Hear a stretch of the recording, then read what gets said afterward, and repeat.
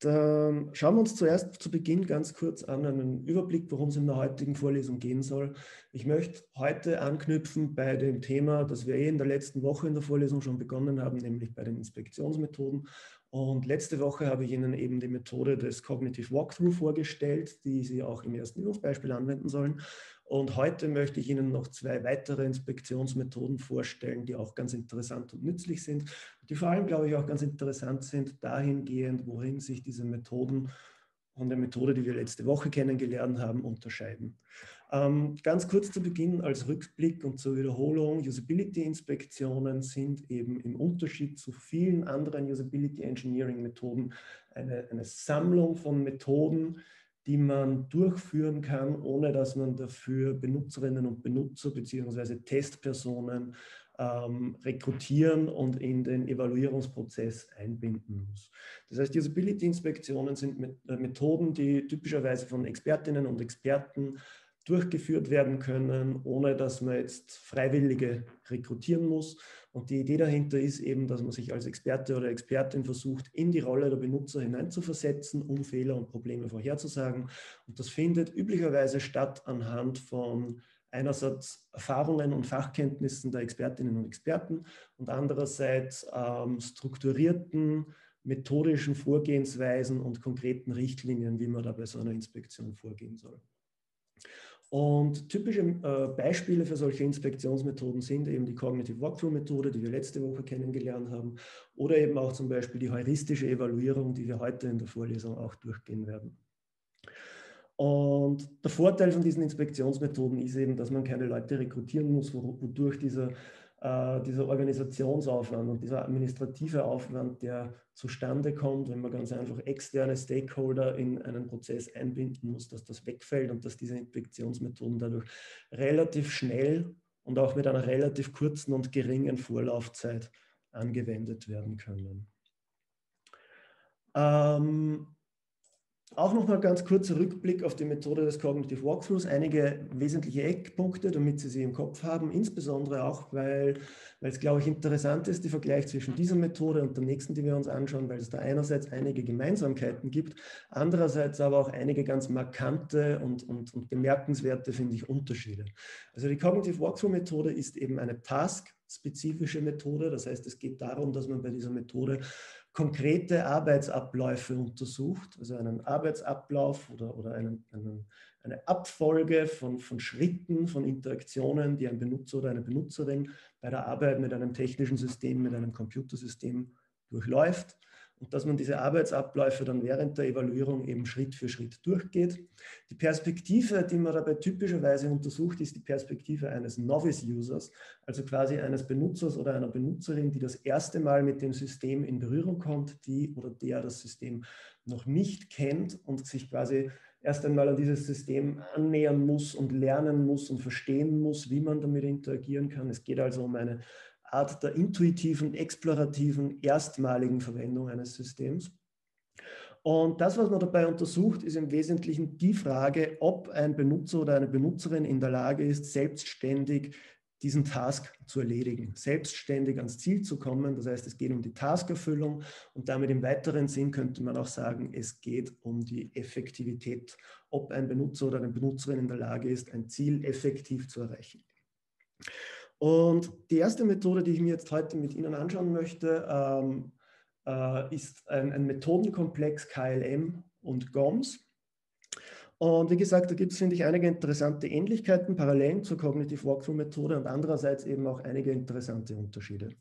GOMS und KLM sind zuallererst einmal Abkürzungen.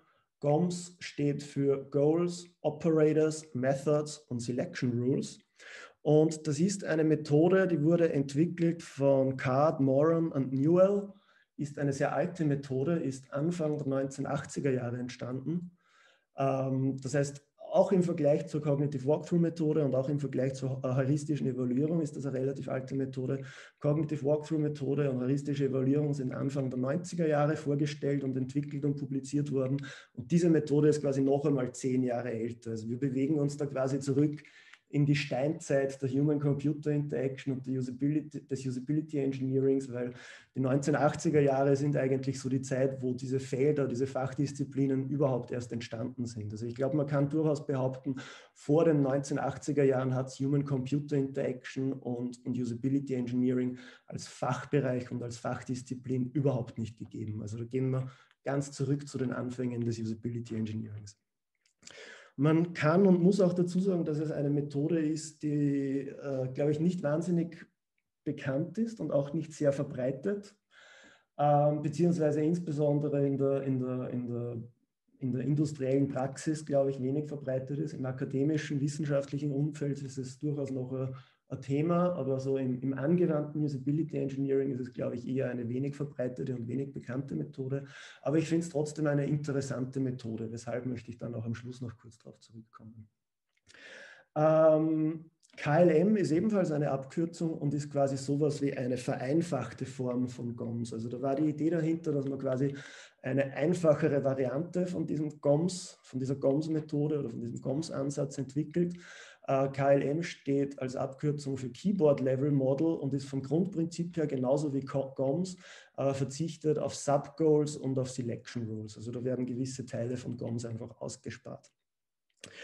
Ähm, wenn man jetzt sich äh, GOMS und KLM anschaut und auch den Vergleich zieht zur Cognitive Walkthrough Methode, auch KLM und GOMS sind wieder task-spezifisch. Das heißt, da geht es auch darum, dass man konkrete Arbeitsabläufe untersucht.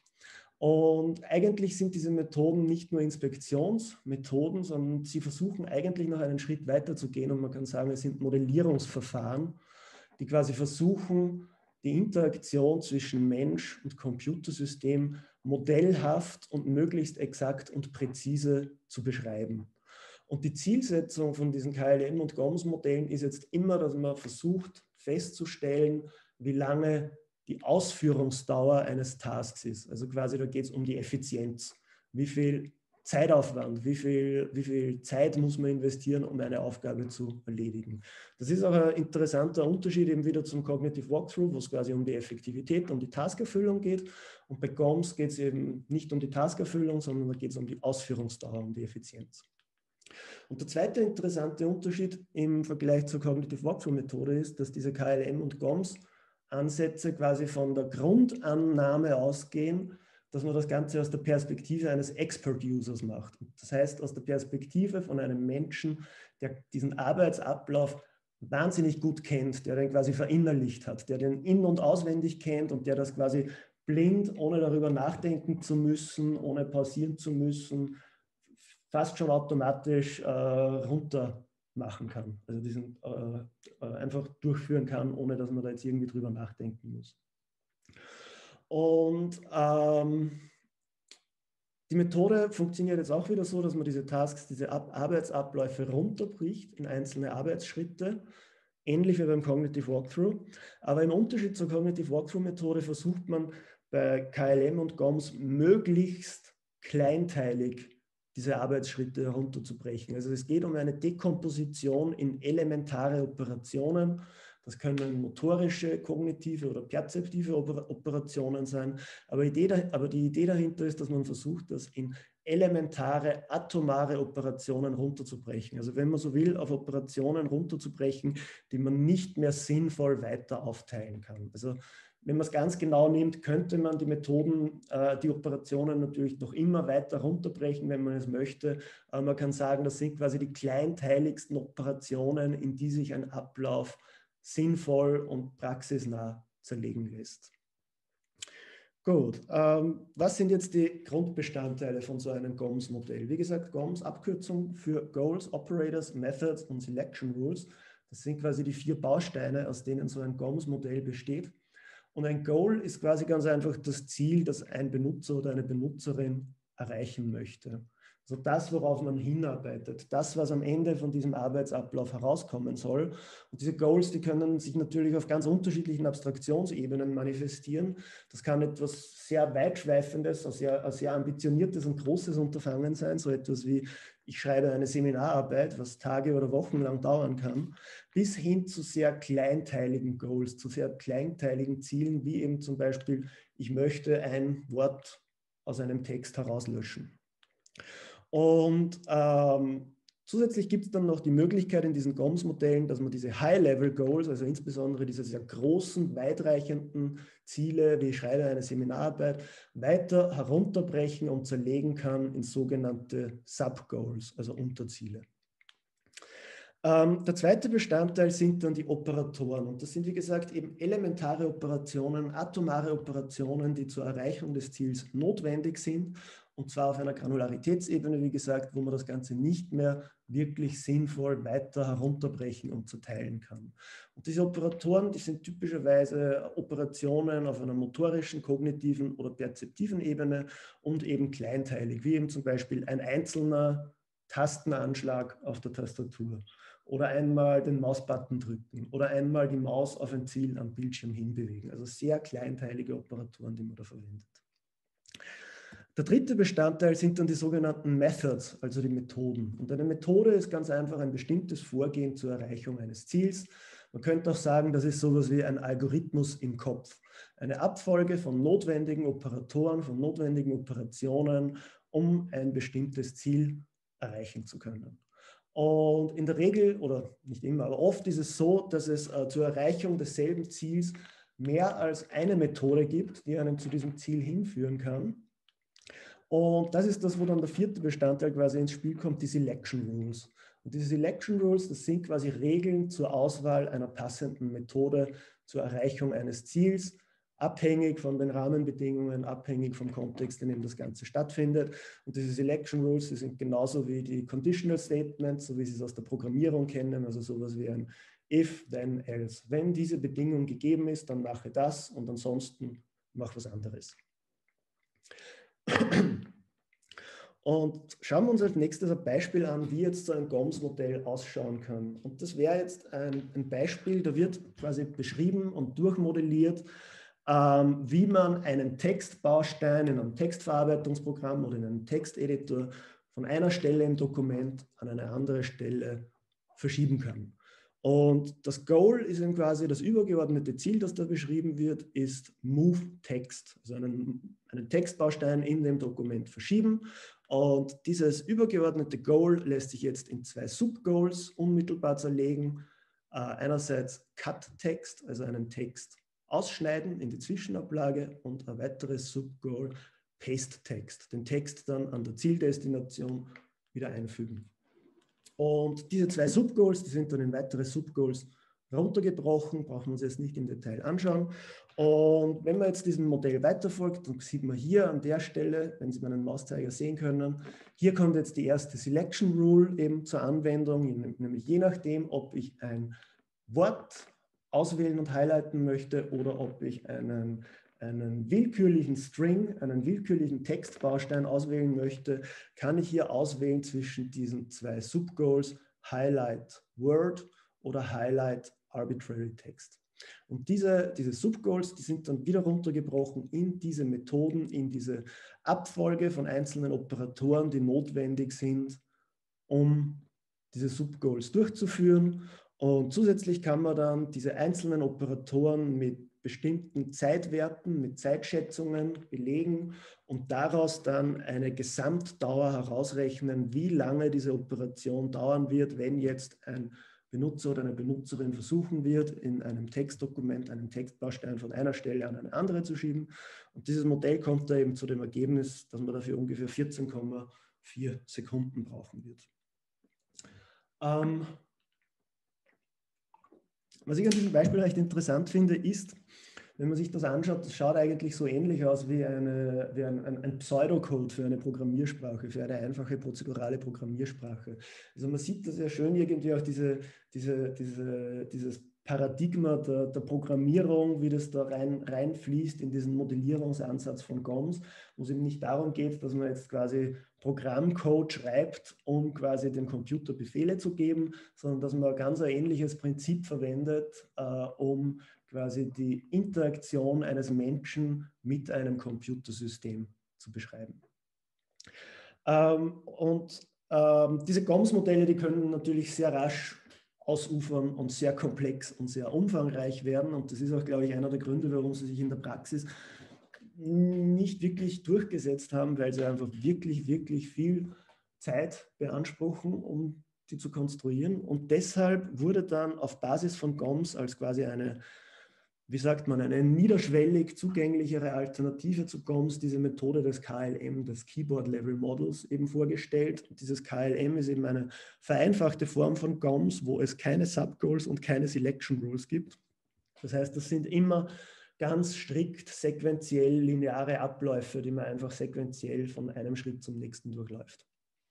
Und wenn man jetzt so ein KLM-Modell äh, äh, entwickeln will oder wenn man einen Ablauf äh, ausmodellieren will, dann läuft das üblicherweise so ab, dass man eben einen, einen Task auswählt, der einen interessiert, den man untersuchen möchte. Dann stellt man die notwendige Handlungsfolge zur Taskerfüllung fest dann listet man die einzelnen Keystroke-Level-Actions auf und sucht sich die korrespondierenden physischen Operatoren raus, die diesen Actions entsprechen. Ähm, dann ergänzt man gegebenenfalls Operatoren an den Stellen, wo ein Benutzer oder eine Benutzerin auf Feedback vom System warten muss, also wo es quasi zu Verzögerungen, zu Pausen kommt, wenn der Computer länger arbeitet oder Ladevorgänge oder was auch immer. Dann ergänzt man die sogenannten mentalen Operatoren. Das sind Operatoren, die man einfügt, wenn Benutzer oder Benutzerinnen nachdenken müssen. Und ich habe Nachdenken hier unter Anführungszeichen gesetzt, da komme ich auch noch darauf zurück. Und ähm, im nächsten Schritt schlägt man dann die Ausführungszeit der unterschiedlichen Operatoren nach, addiert diese Ausführungszeiten und bekommt dann als Ergebnis eben eine geschätzte Ausführungsdauer heraus. Und ähm, damit man das jetzt konstruieren kann, braucht man natürlich eine, eine Übersicht, eine Sammlung von Operatoren, die einem zur Verfügung stehen. Und das sind die typischen oder die klassischen Operatoren und die Zeitmessungen dazu, wie man sie im, im klassischen GOMS im klassischen KLM-Ansatz findet. Äh, K für Keystroke, das wäre quasi, ich drücke eine Taste auf der Tastatur. TN dann als ein, ein, ein, eine Sequenz von Keystrokes, also wenn man zum Beispiel ein Wort schreibt oder wenn man mehrere Buchstaben hintereinander eingibt auf der Tastatur. Ähm, P für das Zeigen mit der Maus auf ein Ziel am Bildschirm. B, um den Mausbutton zu drücken oder wieder loszulassen. BB, wenn man auf den Mausbutton klickt, also wenn man quasi reindrückt und wieder loslässt. H, wenn man die Hand zwischen Keyboard und Maus hin und her bewegt. M für den sogenannten Mental Act of Routine Thinking oder für, für, für Perception Tasks, also wenn man zum Beispiel äh, eine, eine, ein bestimmtes Element am Bildschirm sucht. Und R als Operator, wenn das System langsam ist und man quasi auf das System warten muss. Und auf der rechten Seite sehen Sie dann eben geschätzte Ausführungszeiten, die wurden empirisch, äh, experimentell erhoben und dann eben ausgerechnet. Und man muss natürlich sagen, diese Ausführungszeiten die sind natürlich e-, erstens nur Durchschnittswerte, die sind auch teilweise schwer verallgemeinerbar. Das sieht man schon sehr schön hier in der ersten Zeile bei Keystroke, wo eben angegeben ist eine Zeitdauer von 0,12 bis 1,2 Sekunden. 0,12 Sekunden, das wäre ein sehr geübter Schreiber oder eine geübte Schreiberin, die ungefähr 90 Wörter pro Minute schafft, wenn sie jetzt tippen würde.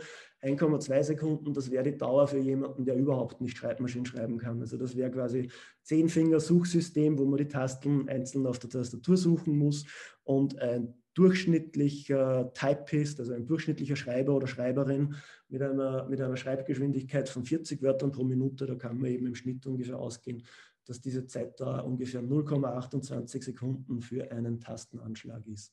Oder auch zum Beispiel, wenn man sich das P anschaut, Pointing with Mouse to Target on Display, wenn Sie Fitts Law kennen, dann wissen Sie, dass das nicht konstant ist, sondern dass das von verschiedenen Faktoren abhängig ist und dass man das exakt daraus modellieren kann.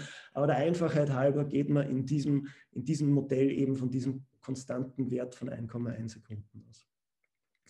Ähm, besonders interessant ist aber dieser Aspekt oder dieser Operator M, Mental Act of Routine Thinking. Das sind quasi Operatoren oder Operationen, wo der Benutzer oder die Benutzerin kurz nachdenken muss. Ich habe das Nachdenken auf der vorigen Folie auch in Anführungszeichen gesetzt gehabt, weil da geht es eben nicht darum, dass man jetzt irgendwie anfängt, lange darüber zu reflektieren oder lange über etwas nachzudenken. Also nicht irgendetwas, wo man sich den Kopf darüber zerbrechen muss, wo man jetzt irgendwie eine harte Nuss quasi knacken muss, sondern es sind quasi Routine-Denkoperationen. Das wären zum Beispiel so Sachen wie, wenn wir es auf der nächsten Folie sehen, das wäre eben zum Beispiel, dass man eine strategische Entscheidung trifft. Das wäre, dass man eine Informationseinheit aus dem Gedächtnis abruft. Also dass man sich zum Beispiel versucht, an seinen Benutzernamen zu erinnern, dass man versucht, sich an sein Passwort zu erinnern, dass man versucht, sich an einen Tastaturshortcut zu erinnern, dass man versucht, sich an einen Task-Parameter zu erinnern. Also da geht es eher darum, ein, ein, ein, eine Operation, wo man ein vorhandenes Wissen aus dem Gedächtnis hervorkramen muss.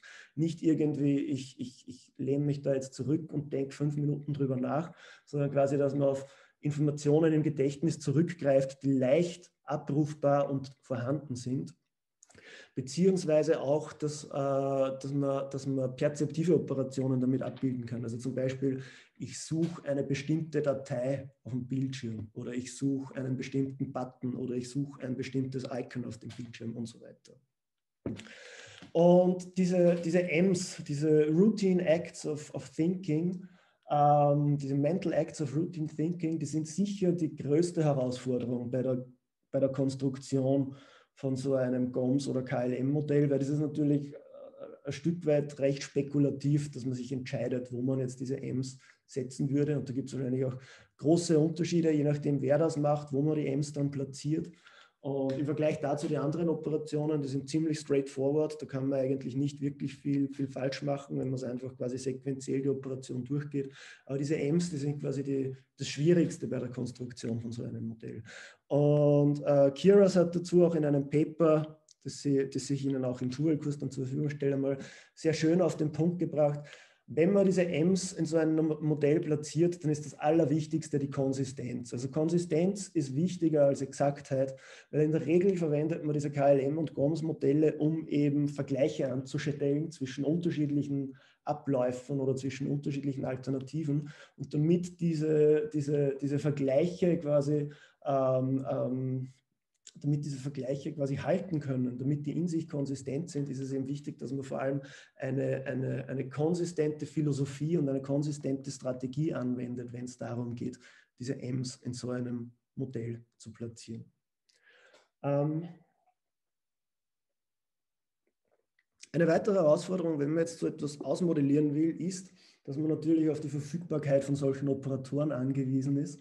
Und das bedeutet insbesondere, wenn sich irgendwelche, also wenn es um irgendwelche neuen Formen der Human-Computer-Interaction geht, um neue Interaktionsparadigmen, dann fehlen einem oft diese Sammlungen und diese, diese Tabellen mit Operatoren, die man da zur Modellierung verwenden kann. Ähm, Keyboard und Maus gibt es eben seit den 80er Jahren. Ähm, aber zum Beispiel wie Smartphones, äh, also vor allem die, die modernen Touchscreen-Smartphones ihren, ihren, Durchbruch gehabt haben, da war sicher ein Problem, dass es da ganz einfach unmöglich war, diese Modelle zu konstruieren, weil es eben keine anwendbaren Operatoren gegeben hat. Und äh, inzwischen gibt es dazu auch schon einiges an, an, an, wissenschaftlicher und akademischer Forschung. Ich habe Ihnen da drei Papers rausgesucht, die sich eben äh, damit beschäftigen, wie man diese KLM- und GOMS-Modelle auf Touchscreen-Interaktion ähm, ähm, übertragen und anwenden kann. Die sind eben alle so 2014 bis 2015 entstanden und Sie sehen ja auch einen Auszug aus so einer Tabelle, wo eben die Autoren ihre Smartphone-Operatoren, dieses Fingerstroke-Level-Model nennen sie es, mit den Originaloperatoren von Card und Kollegen gegenüberstellen. Das heißt, ähm, es ist, äh, da, da braucht es dann oft auch Geduld. Also das, das, schränkt dann auch die Anwendbarkeit von diesen Methoden ein, wenn man, wenn man es mit sehr neuartigen Formen der Interaktion zu tun hat, mit neuartigen Interaktionsparadigmen, weil man quasi darauf warten muss, dass irgendwer diese Operatoren erhebt oder man muss es selber machen, was aber natürlich ein, ein erheblicher Forschungsaufwand und, und, und, und wissenschaftlicher Arbeitsaufwand auch ist. Und für Smartphone gibt es jetzt inzwischen eben schon seit einigen Jahren gute, halbwegs robuste Modelle dafür, aber man kann eben sagen, so von 2007 bis 2014, 2015 war es jetzt gar nicht so leicht, dass man so, solche, solche KLM- und GOMS-Modelle für Smartphone- und Touchscreen-Interaktion konstruiert, weil es eben die Operatoren ganz einfach nicht gegeben hat. Ich möchte mir jetzt als nächstes mit Ihnen ein konkretes Beispiel anschauen, wie das jetzt ausschauen kann und wofür man das Ganze anwenden kann. Und ich habe mir dafür einen Task ausgewählt, einen eigentlich recht einfachen und alltäglichen Task, den Sie auch sicher kennen. Das ist auch ein sehr kurzer Task, nämlich es geht darum, Sie wollen diese Datei, die LeadMe, die hier auf dem Desktop liegt, löschen, indem Sie sie in den Papierkorb irgendwie rüber äh, schupfen, wenn man so will. Und ich möchte mir drei unterschiedliche Möglichkeiten mit Ihnen anschauen, wie man das jetzt machen kann, nämlich einerseits äh, Szenario Drag and Drop, also man löscht diese Datei mittels Drag and Drop. Zweites Szenario, man löscht es über das Rechtsklick-Kontextmenü und dritte Variante, man löscht es mittels Tastatur-Shortcut. Und zu Beginn auch noch ganz wichtig, dass ich es nicht vergesse, was man nicht aus dem Bildschirm rauslesen kann. Notwendige Vorbedingung und, und notwendiger Endzustand für diese Operation ist, dass äh, die in der Ausgangsposition der Benutzer oder die Benutzerin eine, eine Hand auf der Maus hat und dass am Ende der Operation wieder eine Hand auf der Maus liegen soll. Und äh, Sie können sich jetzt selber überlegen oder eine Schätzung abgeben, was Sie glauben, welche von diesen drei Varianten am schnellsten ist. Wie gesagt, Drag and Drop, Rechtsklick, Kontextmenü oder Tastatur-Shortcut. Wenn wir jetzt dieses Modell konstruieren wollen für die Drag-and-Drop-Operation, dann beginnen wir eben zuallererst mit den physischen, mit den motorischen Operatoren, äh, schreiben uns die raus oder, oder mit, den, mit, den, motorischen Schritten, die notwendig sind. Also ich muss den Zeiger, den Mauszeiger auf das Datei-Icon bewegen, ich muss den Mausbutton drücken und gehalten lassen für die Drag-and-Drop-Operation, ich muss das Datei-Icon auf den Papierkorb ziehen und am Ende muss ich den Mausbutton wieder loslassen. Und dann suche ich mir zu diesen vier Schritten, die ich daraus konstruiert habe, die passenden Operatoren aus dieser Tabelle. Das wäre eben eine Pointing-Operation, eine Button-Operation, eine zweite Pointing-Operation und eine zweite Button-Operation.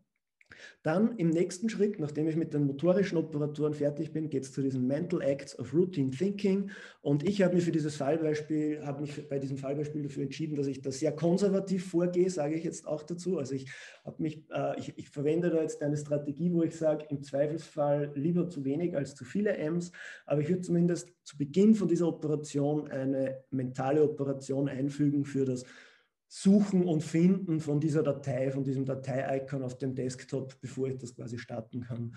Man könnte ganz leicht auch sagen, man müsste hier vielleicht noch ein M einfügen, wenn es quasi darum geht, ob man den Papierkorb findet. Das wird dann davon abhängen, wie gut ein, ein Benutzer oder eine Benutzerin das verinnerlicht hat, wo der Papierkorb am Bildschirm zu finden ist.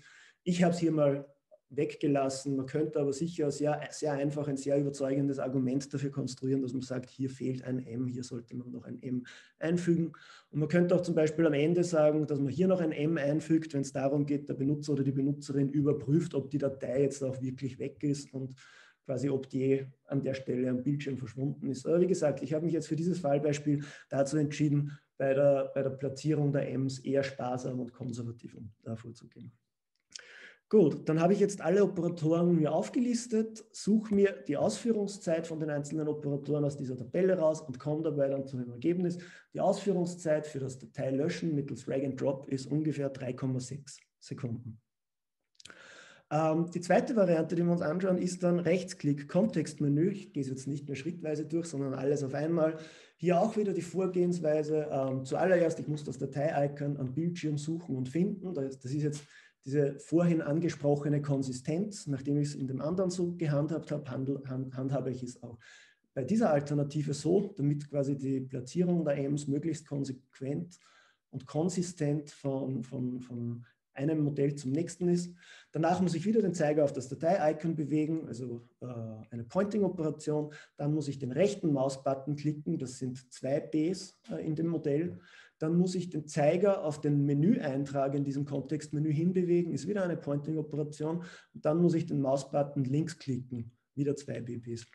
damit komme ich dann am Ende, wenn ich das zusammen addiere, auf eine Ausführungszeit von 3,8 Sekunden. Also Daumen mal Pi ungefähr genauso schnell, wie wenn man es per Drag and Drop machen würde. Also eigentlich keine Zeitersparnis. Und als dritte Alternative schauen wir uns dann noch an die Variante mit äh, Keyboard Shortcut. Und ähm, auch hier wieder ganz zu Beginn ein M. Ich muss das Datei-Icon am, am, am, Bildschirm suchen und finden. Ich muss den Zeiger auf das Datei-Icon bewegen, damit ich es quasi selektieren kann. Ich muss den Mausbutton klicken, damit das Datei-Icon selektiert ist, dass es quasi gehighlightet, aktiviert ist. Dann muss ich die Hand zum Keyboard bewegen, also dieses Hin- und Herbewegen zwischen Maus und Keyboard. Dann muss ich den Tastatur-Shortcut betätigen zum Löschen von dieser Datei.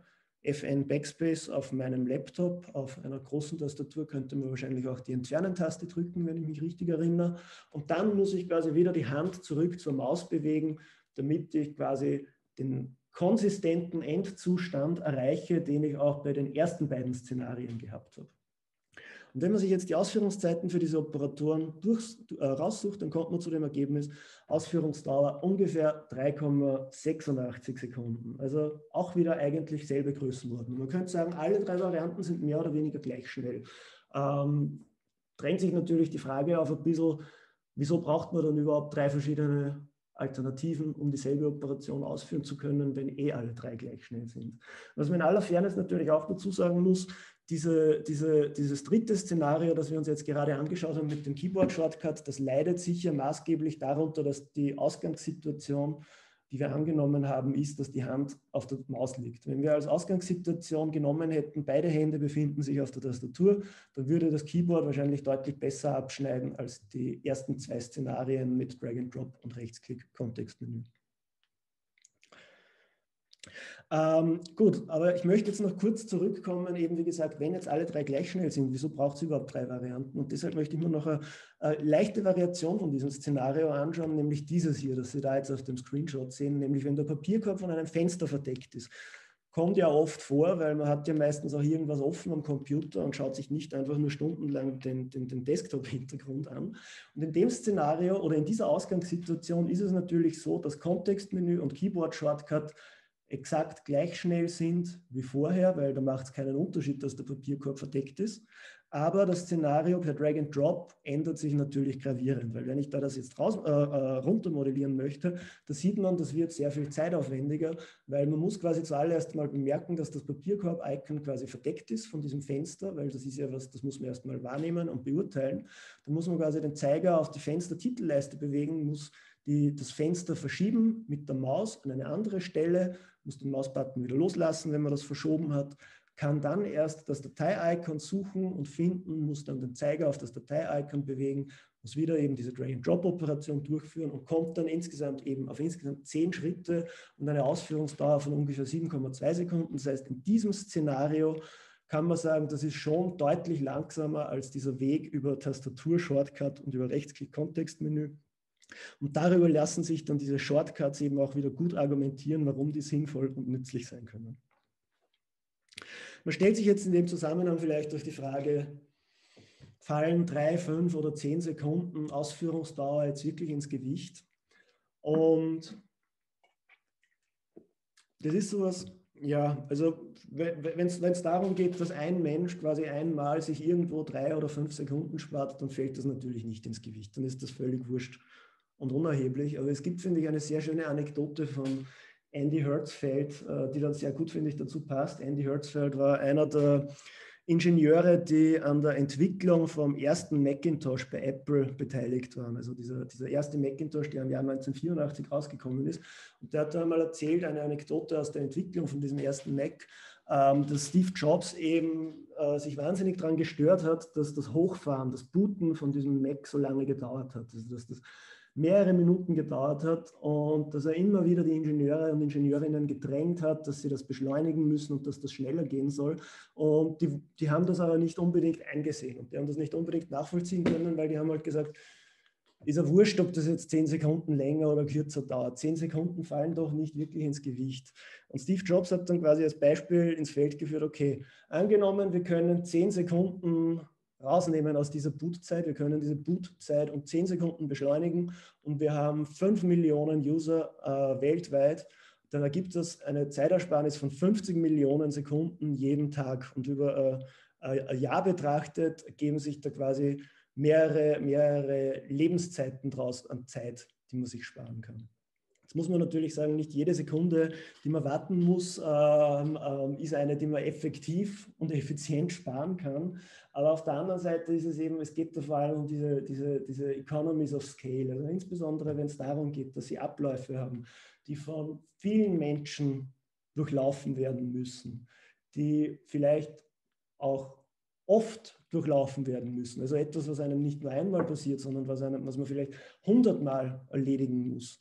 Und wenn man da dann ein paar Sekunden ähm, ähm, aus einer Operation an, an, Zeitdauer, die man braucht, um das durchzuführen, rausnehmen kann, dann, dann, dann, summiert sich das einfach sehr rasch, sehr, sehr stark auf. Ähm, Larry Tesla hat da auch einmal ein sehr schönes Beispiel dazu, als, als Argument ins Feld geführt, wo er gemeint hat, es ist absolut einfach zu rechtfertigen, dass man ein Team von Ingenieurinnen und Ingenieuren ein paar Monate lang äh, hinsetzt, damit sie aus einem System oder aus einem Ablauf ein paar Sekunden rausnehmen, wenn am Ende fünf Millionen Menschen davon profitieren.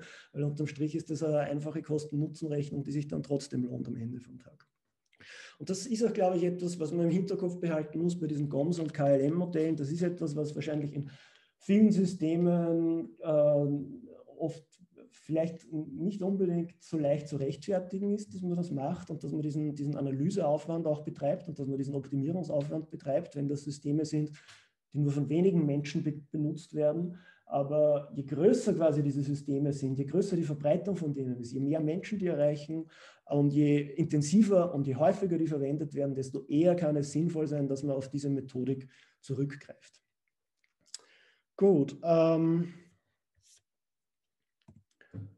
zum Schluss noch kurz zusammengefasst Vor- und Nachteile der Methode. Ähm, Vorteile sind eben, man braucht relativ wenig Evaluatorinnen und Evaluatoren, um sowas zu machen. Also das kann man alleine oder auch zu zweit recht problemlos machen. Es ist relativ schnell für einzelne spezifische und kurze Tasks. Diese Komplexität, die steigt aber sehr schnell für komplexe und lange Tasks oder für, für, für komplexe Goals, für komplexe Ziele. Also relativ schnell für klar abgegrenzte Arbeitsabläufe und Problemstellungen, sehr zeitaufwendig für komplexe Problemstellungen. Also muss man sich auch gut überlegen und gut abwägen, wann sich der Aufwand lohnt und wo man da jetzt quasi Schnitte setzt, um den Untersuchungsgegenstand einzufangen und einzugrenzen. Ähm, es ist, es ist eine Möglichkeit der Abschätzung der Effizienz ohne Testpersonen, was recht interessant ist, weil dafür gibt es eigentlich sonst nicht wirklich viele Möglichkeiten. Man bekommt konkrete Zahlen raus. Das ist gleichzeitig Nachteil und Vorteil der Methode. Der Vorteil von konkreten Zahlen ist eben, dass sie einem etwas Handfestes an die Hand geben, um etwas beurteilen zu können. Sie sind eine einfache Vergleichsbasis, um Entscheidungen zu treffen. Sie sind auch ein wahnsinnig nützliches Kommunikationsmittel. Also wenn Sie irgendwelche Auswertungs- und Analyseergebnisse an Kolleginnen und Kollegen, Vorgesetzte und so weiter kommunizieren müssen, dann ist das einfach immer sehr stark, wenn man sich auf konkrete Zahlen verlassen kann und nicht irgendwie schwammig herumbeschreiben muss. Auf der anderen Seite ist es insofern auch ein Nachteil, weil die Methode, glaube ich, eine Exaktheit und eine Präzision verspricht oder suggeriert, die sie in der Praxis nicht halten kann, weil sie einerseits natürlich auf Annahmen beruht, andererseits auch auf Verallgemeinerungen und auf Vereinfachungen, wie vorhin schon gesagt. Das heißt, man, man, es ist ein Vorteil, dass man die konkreten Zahlen rausbekommt. Man sollte ihnen aber meiner Meinung nach nicht zu sehr vertrauen. Also ich glaube, die Zahlen, die man rausbekommt, sind nicht allzu belastbar. Sie sind wahrscheinlich geeignet, um Größenordnungen abzuschätzen. Aber man sollte sich nicht der Illusion hingeben, dass man da jetzt wirklich auf Hundertstel Sekunden exakte Ergebnisse rausbekommt. Ähm, es ist eine Methode, die sehr gut geeignet ist, um, ein, um unterschiedliche Alternativen ähm, gegeneinander zu vergleichen und abzuwägen und es ist vor allem, glaube ich, eine Methode, die dazu geeignet ist, um Abläufe zu optimieren, die oft durchgeführt werden von Benutzerinnen und Benutzern, die auch wirklich eingeübt sind. Also wenn man so will, für, für, für monotone, sich wiederholende Tasks, wo es dann wo, wo man einerseits von Benutzerinnen und Benutzern ausgehen kann, die mit dem Arbeitsablauf wirklich wirklich gut vertraut sind und den verinnerlicht haben und den quasi automatisch durchlaufen können und die dann auch oft durchlaufen. Dort ist, glaube ich, diese Methode etwas, wo man einerseits ähm, am meisten davon profitieren kann, wo sie am besten anwendbar ist und wo sie auch am ehesten dazu geeignet ist, dass man da jetzt wirklich äh, lästige Stolpersteine und Ineffizienzen rausnimmt, die nicht nur die Zeit erhöhen, die man jetzt braucht, um eine Aufgabe zu erledigen, sondern die auch wahrscheinlich für die Benutzerinnen und Benutzer ganz einfach frustrierend sind, wenn sie da jedes Mal drüber stolpern würden. Und was an der Methode auch noch ganz interessant ist, wie gesagt, ich glaube, es ist eine Methode, die in der Praxis relativ selten Anwendung findet. Ich finde sie aber insofern sehr interessant, weil es eine Methode ist, die einen dazu zwingt, dass man sich auf einer sehr feingliedrigen auf äh, Granularitätsebene mit Interaktion auseinandersetzt. Also auf einer so detailliert feingliedrigen Ebene wie bei dieser Methode setzt man sich eigentlich ansonsten nur sehr selten mit Interaktion auseinander. Und deshalb ist das, glaube ich, auch ganz einfach interessant, das einmal sich anzuschauen und auszuprobieren, damit man, damit man sich da einfach reindenken kann und sich quasi äh, ein Bild davon machen kann, wie kleinteilig man eine Interaktion eigentlich herunterbrechen und analysieren kann, wenn man es will. Die Methode hat aber auf jeden Fall auch ihre Nachteile. Zuallererst einmal wie bei allen Inspektionsmethoden, sie basiert natürlich auf Annahmen, sie basiert auch auf, wie schon gesagt, Vereinfachungen und Verallgemeinerungen, insbesondere bei diesen Zeitwerten, die wir da vorher gesehen haben. Und zu guter Letzt, nicht zuletzt, die Platzierung von diesen M's ist natürlich was Hochspekulatives, etwas, wo man auch leicht einmal daneben greifen kann, wo es auch sicher mehr als eine Möglichkeit gibt, wie man das richtig machen kann. Und das ist, glaube ich, auch so die, der größte Unsicherheitsfaktor in der Anwendung von dieser Methode, diese, diese korrekte Platzierung von diesen Mental Acts of Routine Thinking. Anderer Nachteil, wie schon gesagt, man ist abhängig von der Verfügbarkeit und Korrektheit der Operatoren. Ähm, wenn es für einen Interaktionsstil, für eine Interaktionstechnik noch keine Operatoren und keine Zeitmessungen gibt, dann kann man es einfach nicht anwenden. Ähm, die Aussagekraft ist natürlich teilweise eingeschränkt wieder oder auf ein, einen, eine spezifische Art von Fragestellung eingeschränkt, weil das Ganze eben von der Annahme ausgeht, dass Benutzerinnen immer genau wissen, was sie tun müssen und dass sie quasi wie, wie von selbst automatisch, ohne viel nachdenken zu müssen, ohne sich orientieren zu müssen, einfach diese Abfolge von Schritten durchlaufen können. Ähm, es ist auch ein Ansatz, der Fehler nicht berücksichtigt, also auch wieder unter der Annahme, die Menschen machen keine Fehler, beziehungsweise wenn man Fehler abbilden möchte, dann muss man quasi als Evaluator oder Evaluatorin diese Fehler und ihre Behandlung explizit in der Vorhersage und Modellierung berücksichtigen und ausdrücken. Und der Fokus ist eben sehr spezifisch und eng auf die Effizienz eines Systems durch die Verwendung eines Expert-Users, der mit den Abläufen vertraut ist. Und zu guter Letzt eben auch bei komplexen oder vielen Tasks kann das Ganze sehr schnell relativ zeitaufwendig werden. Die heuristische Evaluierung ist wahrscheinlich die bekannteste und die am meisten verbreitete Inspektionsmethode, die es in der Praxis gibt. Also wie gesagt, Cognitive Walkthrough und KLM und GOMS, die sind wahrscheinlich eher ein bisschen exotisch und werden nicht so oft verwendet. Heuristische Evaluierung ist wirklich eine Methode, die sehr bekannt ist und die auch wirklich verbreitet ist und oft verwendet wird. Es ist auch eine Inspektionsmethode, weil wir bei den äh, Inspektionsmethoden sind. Es geht eben darum, dass sich Expertinnen und Experten in die Rolle der Benutzerinnen und Benutzer hineinversetzen, um Fehler vorherzusagen. Und diese heuristische Evaluierung läuft nach dem Prinzip ab, dass sich äh, die, äh, dass diese, diese Beurteilung von einem User Interface, von der Usability, anhand von einerseits den Erfahrungen und dem Fachwissen von den Evaluatorinnen und Evaluatoren stattfindet und auf der anderen Seite maßgeblich anhand von Richtlinien und Guidelines. Das sind die sogenannten Heuristiken, die auch im Namen von dieser Methode schon drinnen stecken. Und ähm, die heuristische Evaluierung ist eine Methode, die auch insofern interessant ist, weil sie sich von Cognitive Walkthrough und KLM und GOMS unterscheidet, weil es keine task-spezifische Methode ist, sondern es ist quasi eine Methode, die grundsätzlich so etwas wie eine gesamtheitliche, systemzentrierte Betrachtungsweise verfolgt. Das heißt, man analysiert typischerweise nicht konkrete Arbeitsabläufe mit dieser Methode, sondern man versucht sich einen Gesamteindruck vom gesamten System zu verschaffen. Zum Beispiel, indem man eben ganz einfach Bildschirm für Bildschirm, Seite für Seite durch das System durchgeht und jede von diesen einzelnen Bildschirmmasken oder jede von diesen einzelnen Seiten anhand dieser Richtlinien, anhand dieser Heuristiken evaluiert. Ähm, das bedeutet auch, dass die Methode an sich äh, ein Stück weit natürlich ähm, realitätsfern ist, insofern, dass man dass man eben explizit nicht konkrete Arbeitsabläufe typischerweise damit untersucht. Und das unterscheidet sich natürlich von der praktischen Verwendung.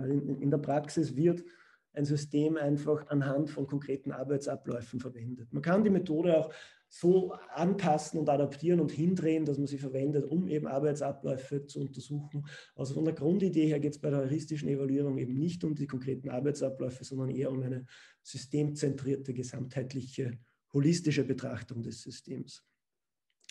Ähm, es ist auch eine relativ alte Methode inzwischen schon. Entwickelt wurde die Methode von Jacob Nielsen und Rolf Molich Anfang der 1990er Jahre. Also ich glaube 1991, 92 wurde die vorgestellt, ist also ungefähr gleich alt wie auch die Cognitive Walkthrough-Methode. Ähm, gut, was sind jetzt diese Heuristiken, die auch schon im Namen von dieser Methode drinnen stecken? Der Begriff der Heuristik ist Ihnen wahrscheinlich eh schon ein Begriff, äh, vielleicht aus Lehrveranstaltungen zur Algorithmik, Algorithmen und Datenstrukturen und so weiter. Und im Wesentlichen ist eine Heuristik ein Ansatz zur Problemlösung, der äh, versucht, ähm, ein, ein, ein, nicht, ein nicht exaktes oder ein nicht optimales, aber ausreichend gutes Ergebnis näherungsweise zu erzielen. Und man könnte auch sagen, vereinfacht oder, oder, oder umgangssprachliche Heuristik ist im Wesentlichen so etwas wie eine Daumenregel, an die man sich halten sollte. Und Beispiele für solche Heuristiken wären eben, wenn Sie sich das unten anschauen, wenn man sich das erste anschaut, wenn man mehr Obst und Gemüse isst, dann lebt man gesünder. Das ist jetzt sicher nicht immer richtig. Das ist kein ausgewogener Ernährungsplan. Da lassen sich sicher auch Ausnahmen dazu finden. Da lassen sich sicher ganz leicht Argumente finden, wenn man dem widersprechen möchte. Ähm, aber im Großen und Ganzen ist es wahrscheinlich mehr richtig als falsch und die meisten Menschen sind wahrscheinlich gut beraten, wenn sie sich an diese Daumenregel halten und für die stimmt es wahrscheinlich tatsächlich, dass man sagt, man lebt gesünder, wenn man einfach mehr Obst und Gemüse isst. Also eine Daumenregel, die einen Sachverhalt grob vereinfacht, die auch nicht immer richtig sein muss, die aber in den meisten Fällen wahrscheinlich sinnvoll ist, sich daran zu halten. Oder damit wir vielleicht wegkommen vom, vom Essen hin zu etwas, was ein bisschen mehr mit Informatik und technischen Systemen zu tun hat. Das zweite Beispiel auf der Folie. Links sollten, also, also Hyperlinks in einer Website, sollten unterstrichen sein und sich farblich vom restlichen Text unterscheiden. Das ist auch wieder so so eine grobe Richtlinie, wo man sagen kann, das stimmt sicher nicht immer. Es gibt sicher gute Gründe, warum man dagegen verstoßen kann aber in den meisten Fällen ist man wahrscheinlich gut damit beraten, dass man sich an diese Richtlinie hält, wenn man jetzt keine guten Gründe hat, bewusst dagegen zu verstoßen. Und das sind quasi Heuristiken, grobe Richtlinien, grobe Daumenregeln, bei denen es in der Regel sinnvoll ist, sich daran zu halten.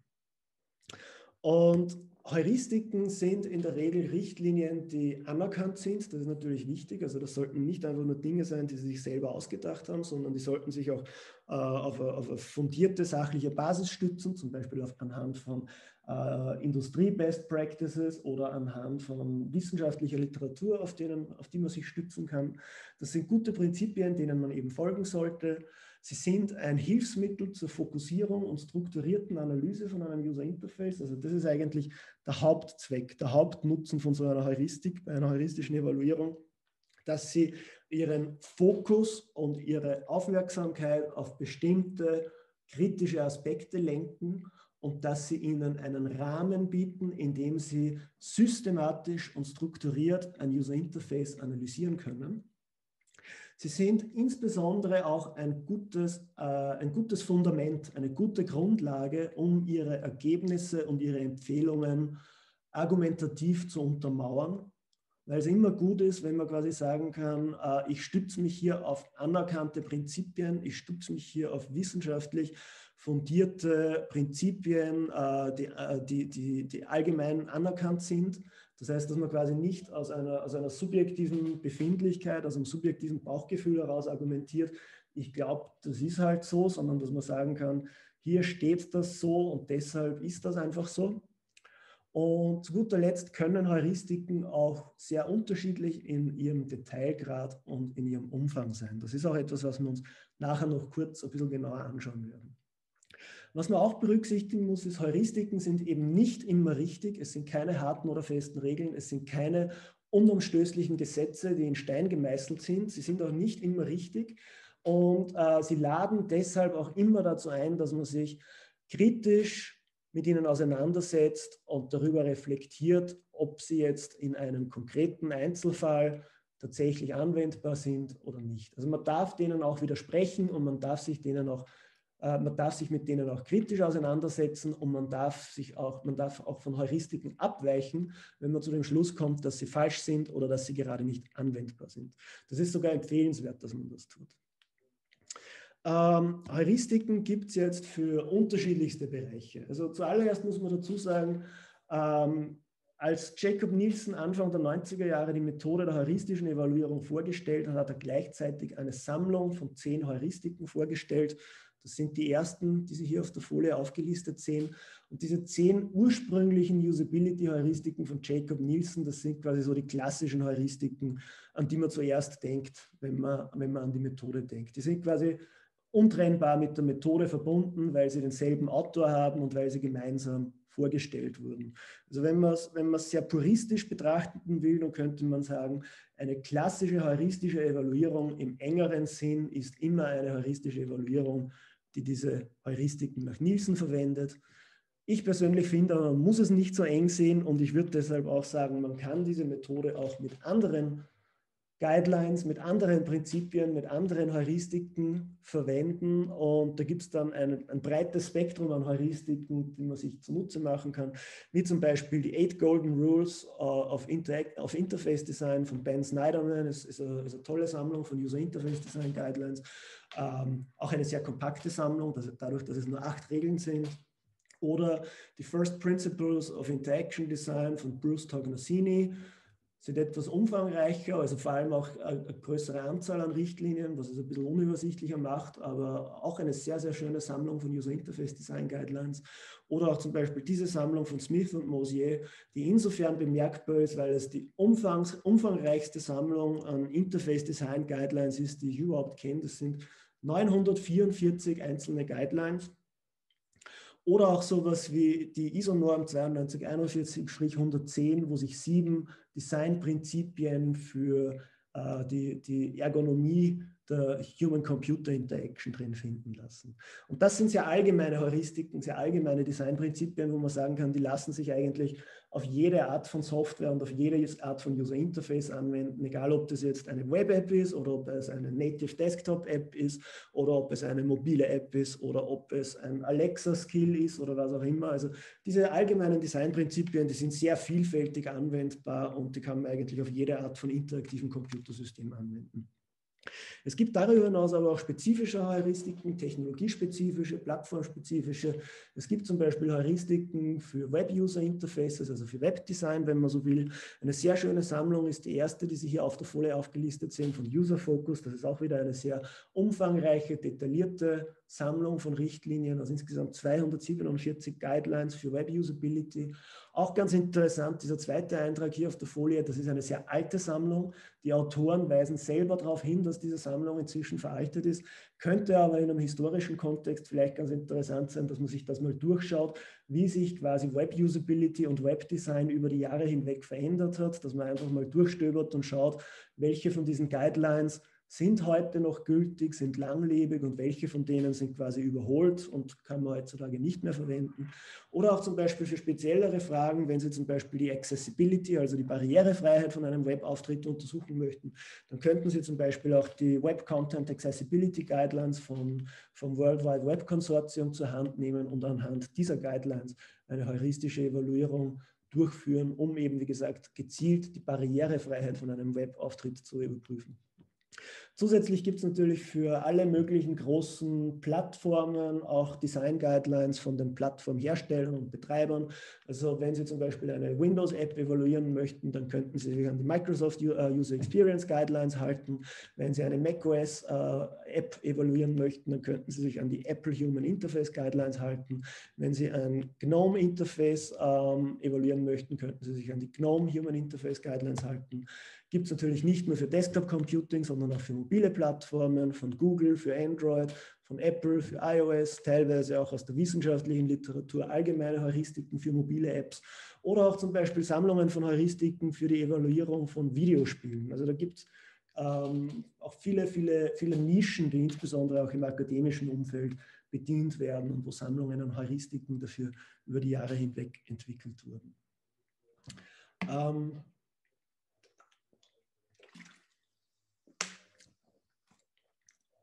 Was jetzt auch noch ganz interessant ist, wenn man sich jetzt unterschiedliche Sammlungen von Heuristiken und Guidelines anschaut, dann variieren die teilweise ganz, ganz stark in ihrem Detailgrad und gleichzeitig auch in ihrem Umfang. Und das hat einige ganz interessante Implikationen, die sich daraus ergeben, auch in der Anwendung von diesen Heuristiken. Ich habe hier auf dieser Folie zwei Beispiele rausgesucht. Die erste Guideline ist eine aus dem ISO-Standard 9241-110 und die lautet, is the dialog consistent? Conformity with User Expectations. Also da geht es quasi darum, ob ein Dialogfenster, eine Bildschirmmaske der Erwartungshaltung der Benutzerinnen und Benutzer entspricht und auf ihre kontextuellen Bedürfnisse und Erwartungen eingeht und sich an allgemein anerkannte Konventionen hält.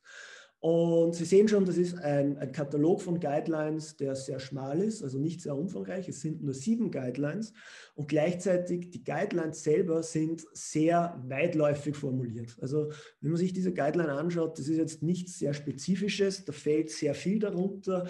Das bedeutet auch, dass da sehr viel ähm, Interpretationsspielraum natürlich bleibt. Das bedeutet auch, dass man sich als Evaluator oder, oder als Evaluatorin, wenn man diese Guidelines verwendet, sich sehr intensiv auseinandersetzen muss mit der Frage, was ist damit überhaupt gemeint und was fällt da alles hinein in diese Guideline. Und auf der anderen Seite ein Beispiel aus dieser Sammlung von Smith und Mosier, die wie gesagt sehr umfangreich ist. Also die besteht eben aus 944 Guidelines. Und auch hier habe ich eine beispielhaft rausgesucht, nämlich eine Guideline zum Thema Default Values, also Default-Werten in einer Eingabemaske. Und da wird dann eben beschrieben, äh, wenn bei einer Eingabe äh, bestimmte äh, Standardwerte oder, oder, oder Default-Werte zu erwarten sind, ähm, dann sollte man diese in dieser Eingabemaske von vornherein automatisch zur Verfügung stellen, damit die Leute das quasi nicht auswählen müssen, sondern einfach nur mehr weiterklicken können, weil es quasi eh schon richtig ausgefüllt ist. Und wenn man sich das anschaut im Vergleich zur oberen Guideline, dann ist das natürlich eine super spezifische Guideline, die wenig Interpretationsspielraum lässt, wo man auch nicht lang drüber nachdenken muss, was damit gemeint ist, weil es eben super spezifisch ist, super exakt beschreibt, worum es da geht. Und ich würde sagen, wenn man sich die anschaut, die beiden jetzt in Relation zueinander, da kann man sagen, die zweite Guideline, diese Default Values Guideline, ist sowas wie eine spezifische Ausprägung von dem, was auch die obere zum Ausdruck bringen will. Weil die Auswahl von geeigneten Default Values hängt natürlich zusammen mit dieser Conformity with User Expectations. Das heißt, wenn ich ausreichend lang drüber nachdenke und mich ausreichend gut mit dieser Guideline auseinandersetze, dann sollte ich hoffentlich auch auf das hier drauf kommen. Aber es besteht natürlich ein Risiko, dass ich nicht drauf komme, wenn ich nicht dran denke oder wenn ich mich nicht ausreichend damit auseinandersetze. Das bedeutet vor allem, dass eine große Anzahl von Richtlinien in der Regel nicht zwangsläufig ein breiteres Spektrum abdeckt, sondern meist ganz einfach tiefer ins Detail geht. Und daraus ergeben sich auch einige interessante Trade-offs, die man berücksichtigen muss. Also sehr allgemeine Guidelines, wie man sie hier oben sieht, kann man sagen, die sind ähm, sehr weitläufig einsetzbar. Und dadurch, dass sie weitläufig einsetzbar sind, sind sie auch wahnsinnig langlebig. Also die verlieren nicht so schnell ihre Gültigkeit, sondern das sind quasi zeitlose Richtlinien, an die man sich halten kann, während spezifische Guidelines, insbesondere technologiespezifische Guidelines, eher dazu neigen, dass sie veralten und dass sie irgendwann ihre Gültigkeit verlieren.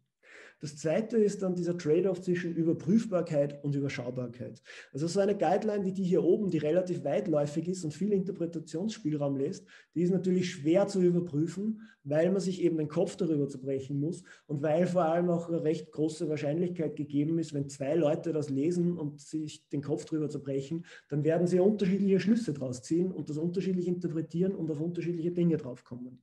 Auf der anderen Seite hier, das ist so eindeutig, da gibt es wenig Interpretation Interpretationsspielraum. Da werden zwei Leute wahrscheinlich das auf die gleiche Art und Weise verstehen und auf die gleiche Art und Weise anwenden.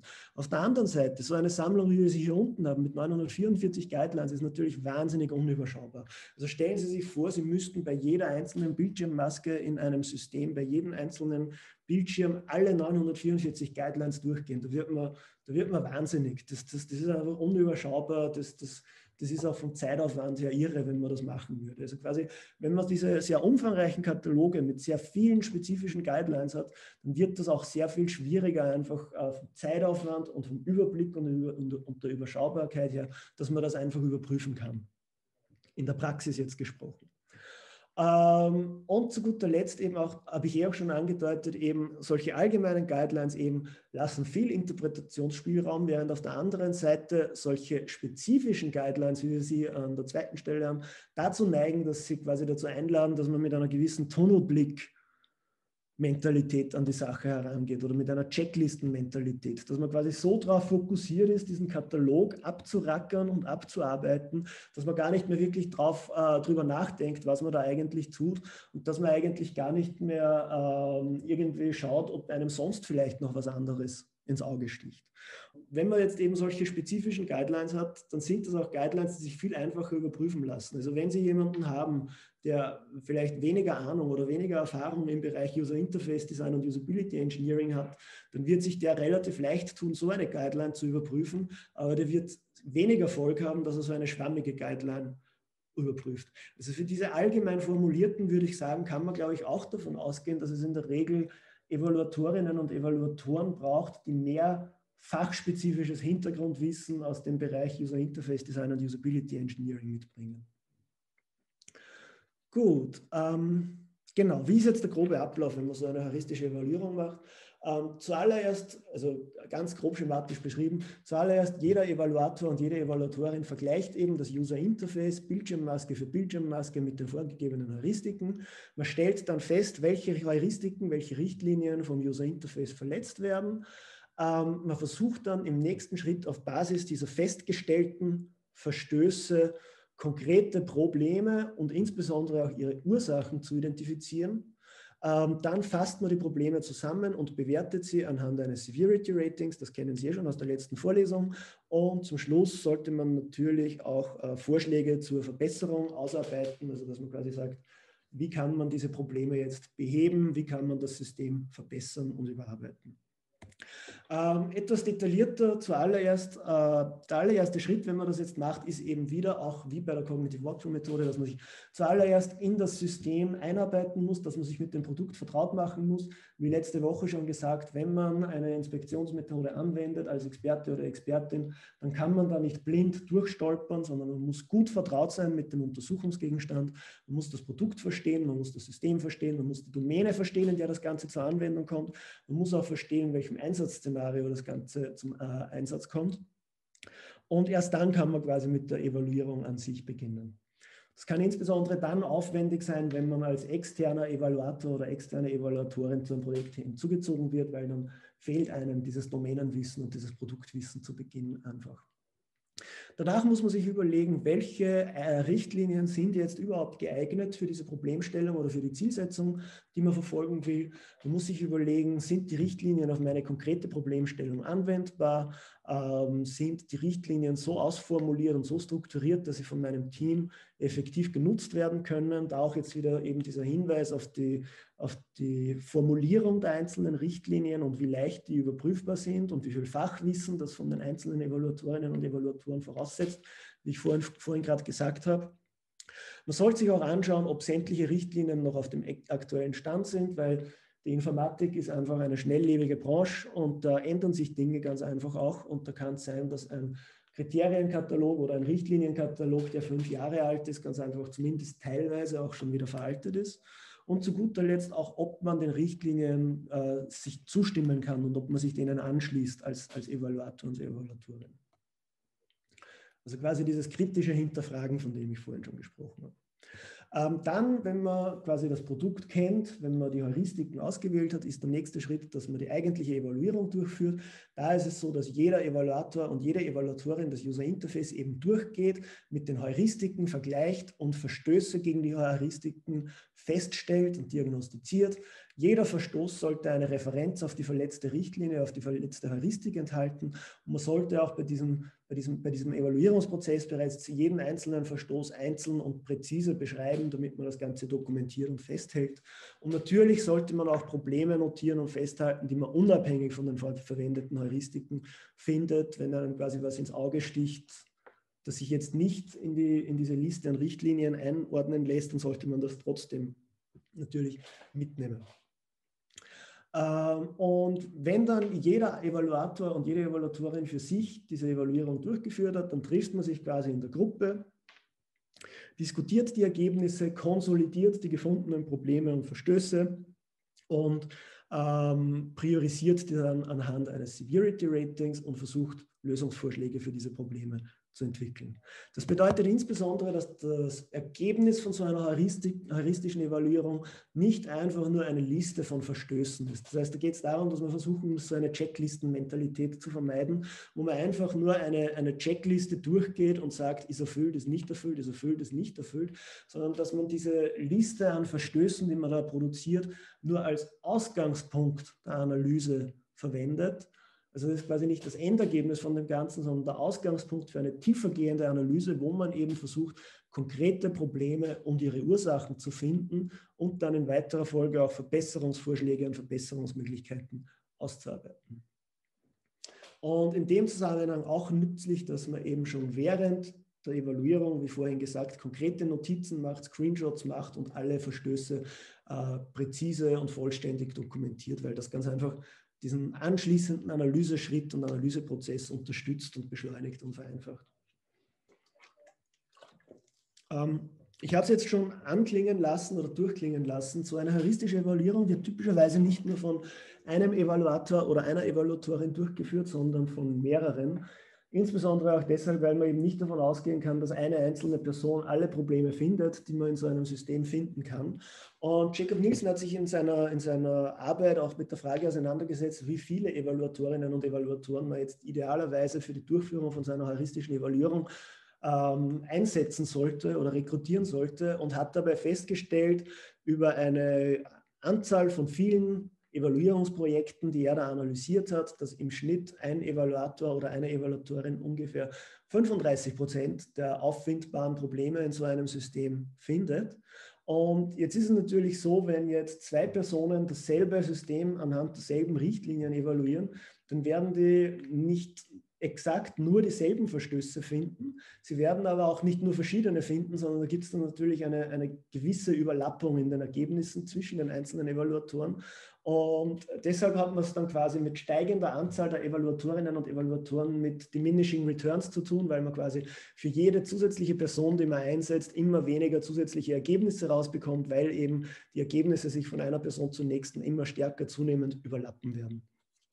Und Jacob Nielsen hat in seiner Analyse eben festgestellt, wenn man jetzt äh, sich eine große Anzahl von so heuristischen Evaluierungen anschaut, dann kann man da äh, feststellen ungefähr, dass man davon ausgehen kann, dass man mit einer Person ungefähr 35 Prozent der auffindbaren Probleme im Rahmen von seiner heuristischen Evaluierung feststellen wird, dass man mit zwei Personen, mit zwei Evaluatorinnen und Evaluatoren ungefähr 50 Prozent finden wird und dass man mit fünf Personen ungefähr 75 Prozent der auffindbaren Probleme finden wird. Wie die Zahlen zustande kommen, gehe ich jetzt aus Zeitgründen nicht näher darauf ein. Sie können sich das aber auch in dem Artikel, der hier auf der Folie verlinkt ist, selber durchlesen, wenn Sie dann neugierig drauf sind.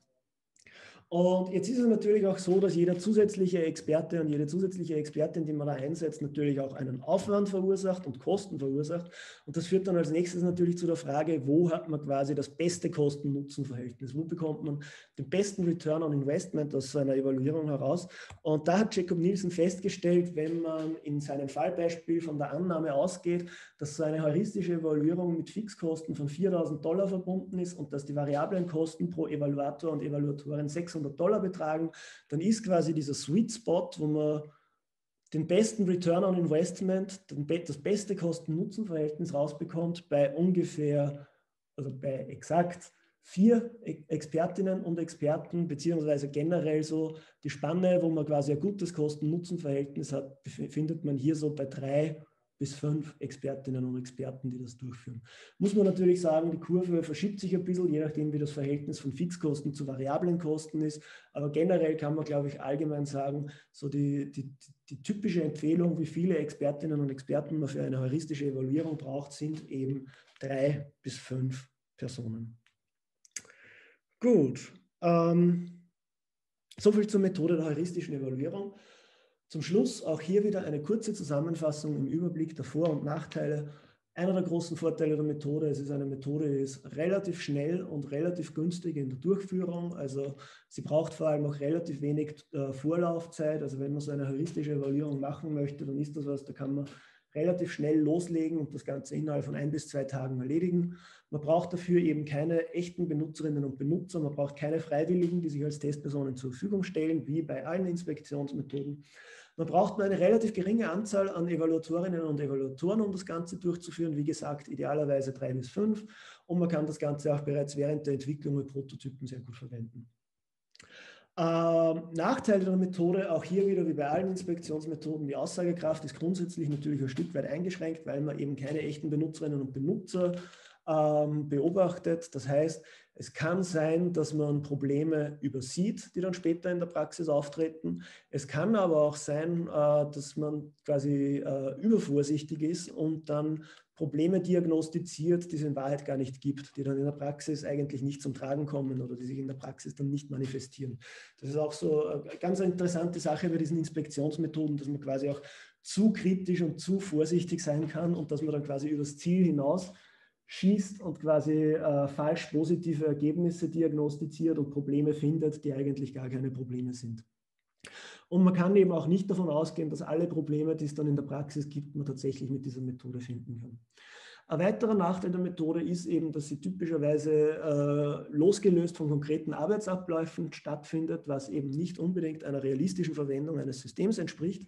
Und zu guter Letzt auch noch ähm, ganz wichtig, die Qualität der Ergebnisse von so einer heuristischen Evaluierung hängt meiner Meinung nach maßgeblich von der Erfahrung und auch von der Sorgfalt der Evaluatorinnen und Evaluatoren ab. Auch natürlich von der Qualität und von der Eignung der Heuristiken. Aber ich glaube, es ist da relativ viel, eh generell bei allen Inspektionsmethoden, relativ viel in der Verantwortung, in der Eigenverantwortung der Expertinnen und Experten, die das durchführen, damit am Ende ein brauchbares und solides Ergebnis rauskommt. Und zu guter Letzt dann natürlich auch noch, es kann mitunter auch schwierig sein, gute und geeignete Richtlinien für eine bestimmte Problemstellung zu finden. Also für allgemeine Problemstellungen, für eine allgemeine Beurteilung der Usability eines Systems ist es relativ leicht, Richtlinien und Heuristiken zu finden, weil eh wie eingangs gezeigt, es gibt viele Sammlungen von allgemeinen Designprinzipien, auf die man sich stützen kann. Aber je spezifischer eine Problemstellung oder eine Fragestellung ist, desto schwieriger kann es werden, dass man da gute und geeignete Richtlinien und Heuristiken dafür findet. Gut, soviel zur methodischen Vorgehensweise bei der heuristischen Evaluierung. Ich möchte mir aber zum Schluss noch ganz kurz diese zehn Heuristiken, diese zehn Usability-Heuristiken von Jacob Nielsen mit Ihnen anschauen, weil es eben, wie gesagt, eine Sammlung von Heuristiken ist, die so, die so untrennbar mit dieser Methode verbunden ist eigentlich. Also die gehen irgendwie Hand in Hand und es sind auch gute Heuristiken, es sind sehr vielseitig einsetzbare Heuristiken, es sind bewährte und etablierte Heuristiken. Und es, es ist, glaube ich, auch etwas, was nicht nur nützlich ist, um jetzt ein User Interface hinsichtlich seiner Usability zu evaluieren, sondern auch etwas, was durchaus so etwas als, als gute und solide Designrichtlinien bei der Gestaltung von einem User Interface helfen kann.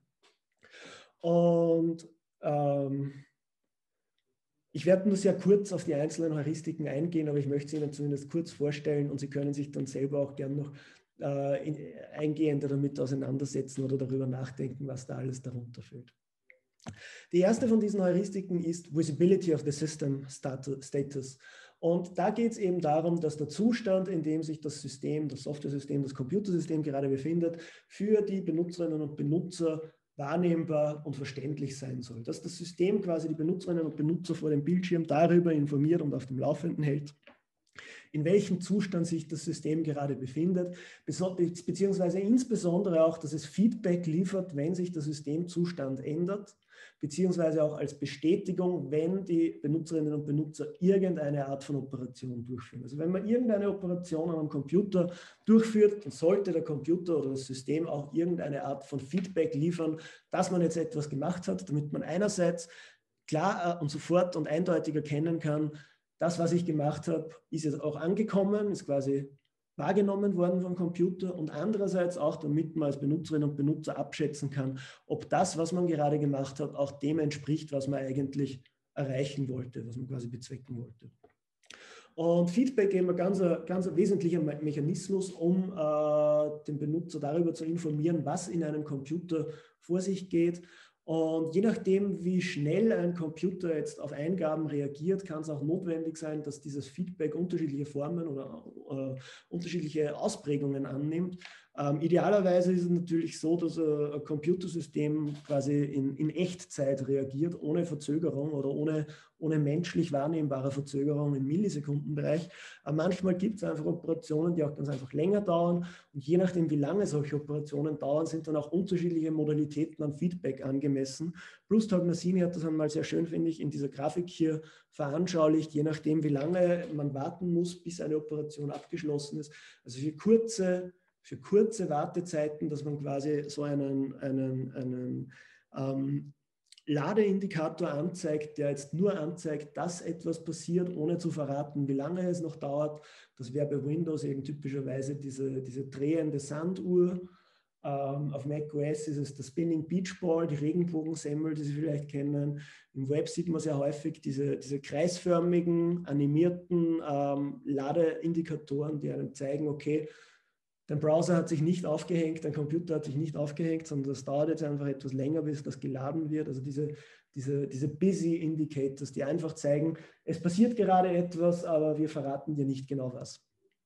Ähm, für längere Wartezeiten ist es dann sinnvoll, dass man nicht nur anzeigt, dass überhaupt irgendwas passiert, sondern dass man auch verrät, wie lange das Ganze dauert. Also dass man quasi einen Fortschrittsindikator anzeigt, dass man auch eine Zeitschätzung abgibt, wie lange das Ganze dauern wird. Und für sehr lange Wartezeiten ist es dann so, äh, dass man nicht nur den Fortschritt anzeigen sollte und die Dauer, sondern dass man auch den Abschluss, den erfolgreichen Abschluss der Operation äh, visuell und eventuell auch mit, mit Sound auditiv darstellen sollte, weil für sehr lange Operationen ist natürlich die Wahrscheinlichkeit sehr groß, dass die Leute jetzt nicht äh, 20 Minuten vom Computer sitzen bleiben und warten, dass das fertig ist, sondern dann geht man in die Küche und macht sich einen Kaffee oder man geht Mittagessen oder was auch immer.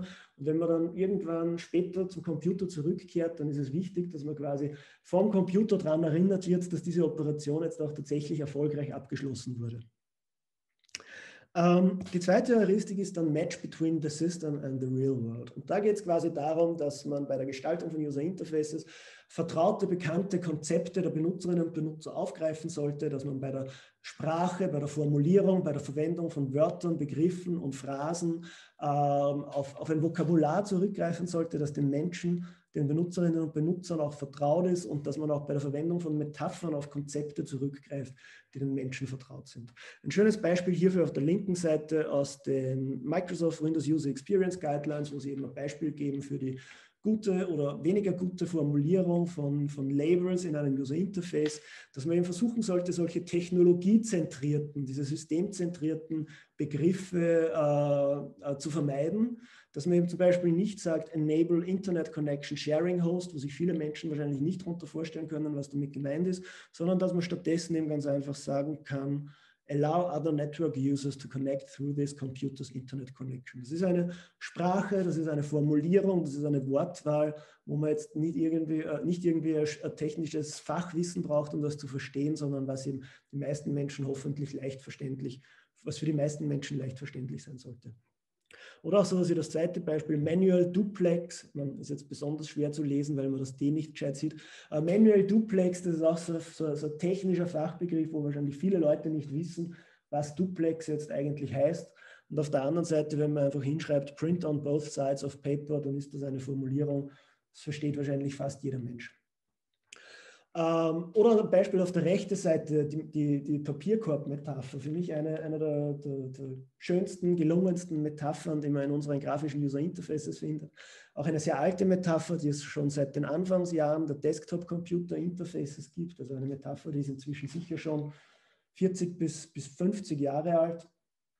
Und wenn man sich anschaut, wie so ein, ein, ein, ein Papierkorb in einem Desktop-Betriebssystem funktioniert, dann ist das eigentlich sehr ähnlich dazu, wie ein Papierkorb funktioniert, den Sie vielleicht unter Ihrem Schreibtisch stehen haben. Wenn Sie ein Dokument haben, das Sie nicht mehr brauchen, dann schmeißen Sie das in den Papierkorb rein. Wenn Sie draufkommen, ups, ich brauche das doch noch, ich hätte das nicht wegwerfen sollen, dann können Sie es wieder aus Ihrem Papierkorb rausfischen. Und auf der anderen Seite, wenn Sie Ihren Papierkorb, egal ob jetzt den virtuellen oder den echten, entleeren, weil sie es in den Müllraum tragen und dann kommt die Müllabfuhr, beziehungsweise weil sie die virtuellen Dokumente permanent löschen. Dann ist quasi der Zug abgefahren, dann gibt es kein Zurück mehr, dann ist das Dokument unwiederbringlich verloren. Also eine Interaktionsmetapher, die im virtuellen Raum ganz analog dazu funktioniert, wie es auch im echten, in der realen physischen Welt funktioniert. Der virtuelle Papierkorb entspricht in seiner Funktionsweise sehr exakt dem, wie auch ein echter Papierkorb funktioniert. Es gibt auch einige interessante Abweichungen, auf die ich jetzt nicht eingehen möchte, wo Sie sich, äh, wenn, Sie wollen, gerne mal den Kopf darüber zerbrechen können, wo diese Papierkorb-Metapher dann in der Praxis auseinanderbricht. Können sich nämlich auch ganz interessante Probleme daraus ergeben.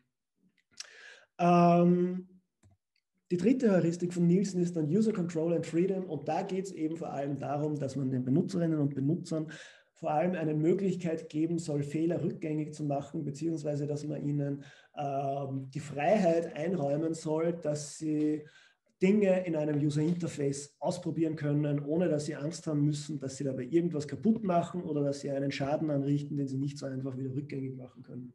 Das bedeutet auf der einen Seite, dass man ebenso Funktionen unterstützt wie Undo und Redo, dass man quasi Operationen rückgängig machen kann, die man gerade gesetzt hat, weil das erlaubt einem eben, dass man so etwas wie eine Trial and Error Strategie in der Interaktion mit dem Computer anwendet, weil man hat eben dann die Sicherheit und die Gewissheit, ich kann alles ausprobieren, ich kann alles machen, weil wenn ich einen Fehler mache, dann muss ich eh nur auf den Zurück, auf den Undo-Button äh, draufklicken und kann den Fehler rückgängig machen, ohne dass da irgendein Schaden entsteht. Beziehungsweise bei Operationen, die sich nicht rückgängig machen lassen, wie eben zum Beispiel das permanente Entleeren des Papierkorbs, dass man in den Fällen so etwas wie eine, einen Bestätigungsdialog einbaut, wo man quasi noch einmal zur Sicherheit nachfragt, bist du dir sicher, dass du das jetzt machen möchtest? Ähm, genau. Die nächste Heuristik ist dann Consistency and Standards, wahrscheinlich ein, eines der wichtigsten Prinzipien für gut benutzbare User Interfaces. Und da geht es eben darum, dass sich äh, User Interfaces in ihrer Gestaltung ähm, Best Practices, an Konventionen, an Standards halten sollen und dass sie auch in sich konsistent sein sollen. Also es geht darum, dass die Benutzerinnen und Benutzer sich nicht die Frage stellen sollen müssen, ob Dinge, die gleich ausschauen, vielleicht sich unterschiedlich verhalten, beziehungsweise ob Dinge, die unterschiedlich ausschauen, denselben Zweck erfüllen und sich auf dieselbe Art und Weise verhalten. Also ähm, Aussehen und Funktionsweise der Dinge sollen in sich konsistent sein. Und diese Konsistenz, die kann sich auf unterschiedlichen Ebenen manifestieren. Einerseits zum Beispiel innerhalb einer Applikation, also dass äh, die einzelnen Bildschirmmasken, die einzelnen Bildschirme innerhalb einer Applikation untereinander konsistent gestaltet sind, dass äh, immer wiederkehrende Gestaltungselemente zum Einsatz kommen, dass äh, User Interface Widgets konsistent verwendet werden, dass, dass, dass, das Layout und die Struktur und die Anordnung der Elemente am Bildschirm konsistent ist von einer Bildschirmmaske zur nächsten, dass das quasi, dass die Bildschirminhalte quasi nicht wild herumhüpfen von einer Bildschirmmaske zur nächsten. Und auf der anderen Seite aber auch die externe Konsistenz von Applikationen hin zu anderen Applikationen auf derselben Plattform. Darauf zielen eben auch diese plattformspezifischen Richtlinien und Guidelines von Apple und Microsoft und Google und so weiter ab, wo es eben darum geht, dass man, äh, dass man sich an diese Guidelines halten soll, um eben die Konsistenz von unterschiedlichen Anwendungen auf einer Plattform sicherzustellen. Und wenn man sich diese zwei Beispiele hier unten anschaut, auch wieder zwei eher ältere Beispiele, äh, das linke aus den Windows User Experience Guidelines und das rechte aus den Apple Human Interface Guidelines. Wenn man sich dann das anschaut, dann ist für Sie sicher auf den ersten Blick ersichtlich, welches von diesen zwei, also welcher von diesen zwei Screenshots von Windows herkommt und welcher von diesen zwei Screenshots von macOS herkommt, weil sie sich eben an die Plattformkonventionen der jeweiligen Plattform halten und auf den ersten Blick erkennt, das ist konsistent mit Windows oder das ist konsistent mit macOS.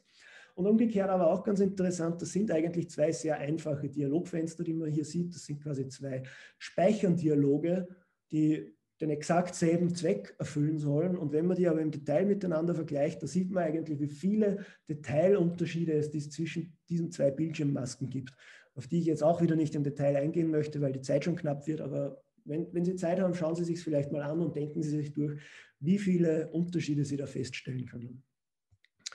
Die nächste Heuristik ist dann Error Prevention. Und da geht es quasi darum, dass man User Interfaces so gestalten soll, dass Benutzerinnen und Benutzer möglichst daran gehindert werden, Fehler überhaupt zu machen, bevor diese auftreten. Also am besten ist es, dass man Fehler verhindert, bevor sie überhaupt passieren können.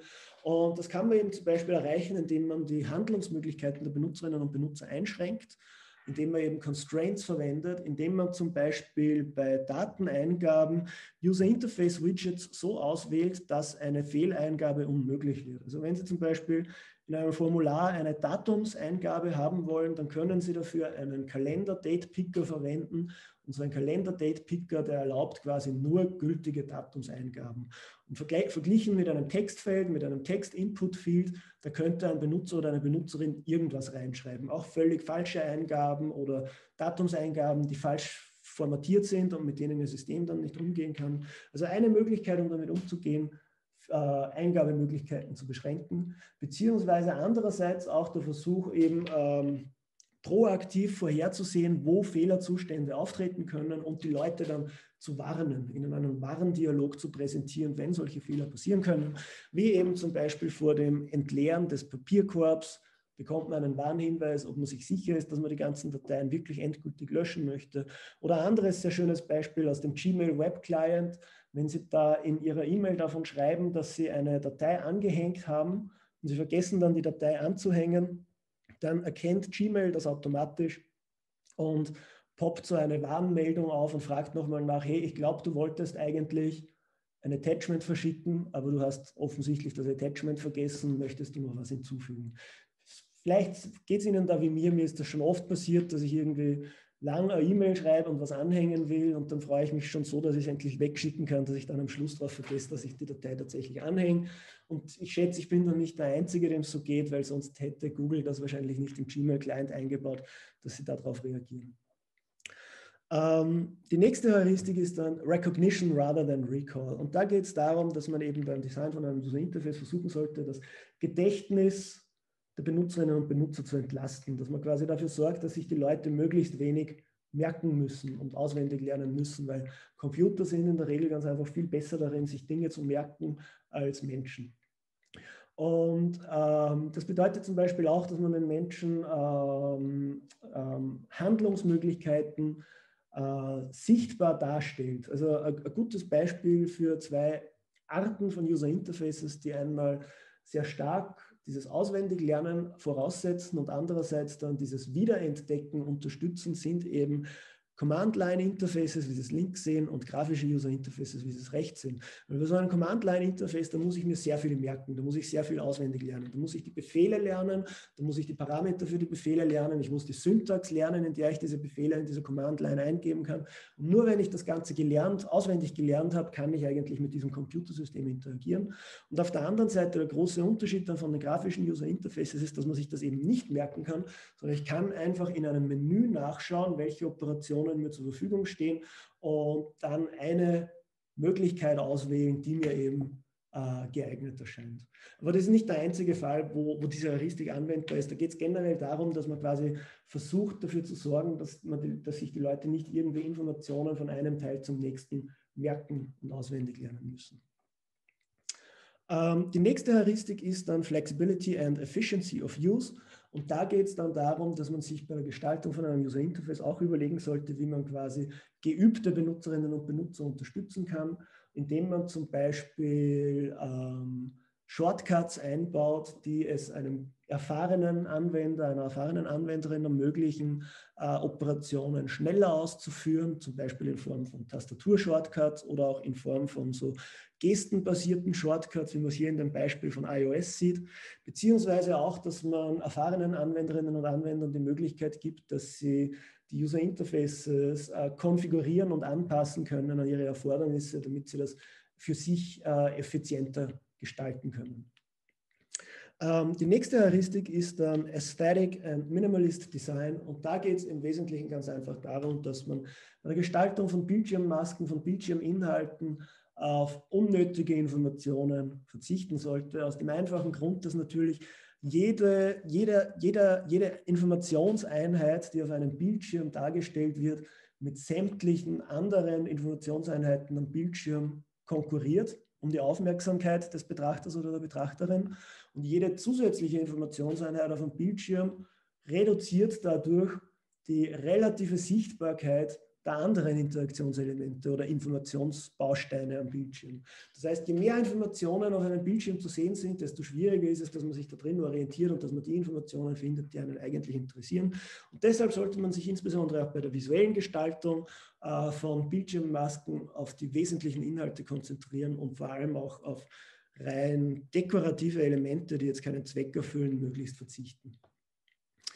Gut, die nächste und ich glaube auch schon vorletzte Heuristik ist dann Help Users Recognize, Diagnose and Recover from Errors. Wie vorhin gesagt, am allerbesten ist es natürlich, wenn man Fehler verhindern kann, bevor sie überhaupt auftreten. Das ist aber nicht immer möglich. Wenn Fehler auftreten, dann ist das meistens für die Benutzerinnen und Benutzer besonders unangenehm und das sind, das, dann, das sind dann meistens auch Situationen, wo sie besonders viel Hilfe und Unterstützung brauchen.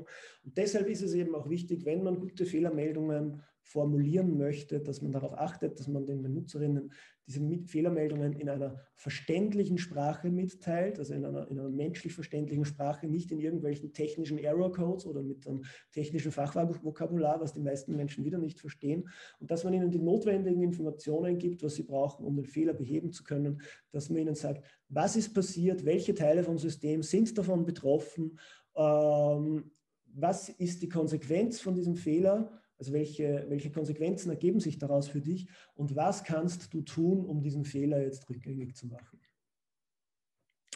Ähm, gut, und die allerletzte von diesen zehn Heuristiken von Nielsen ist dann Help and Documentation. Und da kann man sagen, grundsätzlich ist es natürlich wünschenswert, dass ein User Interface so einfach gestaltet ist, dass man überhaupt keine Hilfe und überhaupt keine Dokumentation und Anleitung dafür braucht. Auch hier wieder, in vielen Fällen ist das aber ganz einfach nicht möglich. Und deshalb ist es in den meisten Fällen notwendig und sinnvoll, dass man für, für technische Systeme, für Software-Systeme auch eine Hilfe und eine Hilfefunktion und eine Dokumentation bereitstellt. Und wenn man so eine Hilfe und Dokumentation bereitstellt, dann ist es auch wichtig, dass die gut ist und dass die auch gut benutzbar ist. Also da geht es quasi um die Usability der Hilfefunktion, dass man in der Lage ist, als Benutzerinnen und Benutzer auch jene Informationen zu finden, die man gerade interessieren und dass die auch so aufbereitet sind, dass man etwas damit anfangen kann, dass sie fokussiert sind auf die Arbeitsaufgaben der Benutzerinnen und Benutzer und dass sie eine Liste an konkreten Schritten enthalten, die man befolgen kann, um diese Aufgabe jetzt zu erledigen und vor allem auch, dass diese Hilfe und Dokumentation nicht zu lang ist, weil wenn es zu lang ist, dann liest sich eh erst wieder niemand durch. Gut, so viel zu den zehn Heuristiken von Jacob Nielsen im Schnelldurchlauf.